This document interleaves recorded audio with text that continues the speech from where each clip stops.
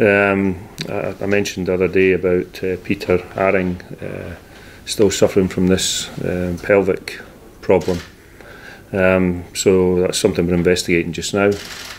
But I think we'll need to, to do something in, in that regard. Um, when that is, we've still got plenty of time. Um, we've got enough cover at the moment to, to for me to feel that we can go into competitive matches without worrying too much.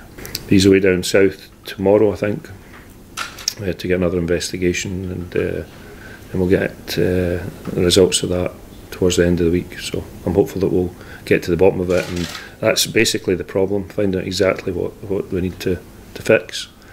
And once we've got that, we can we can get on with it. I mean, there was there's also the the added complication that uh, we weren't 100% sure whether Arnaud Djoum was staying or leaving.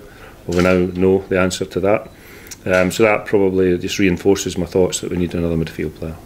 Andy Irving's in contention. Uh, he's done he did well towards the end of last season, and also uh, he's done reasonably well in pre-season. So at this minute in time, I'm not in a rush to, to bring another player in. I feel that I want to give some time to, to uh, Harry and maybe to uh, Harry Cochrane, maybe to Andy Irvin, maybe you know some of the forward positions. If people aren't up to speed, then Anthony McDonald and Dario Zanatta can be involved as well. What I don't want to do is is heap pressure on them. I like to be able to put the young players in and out based on, on the rest of the team and the support they get from from the, the positions round about them.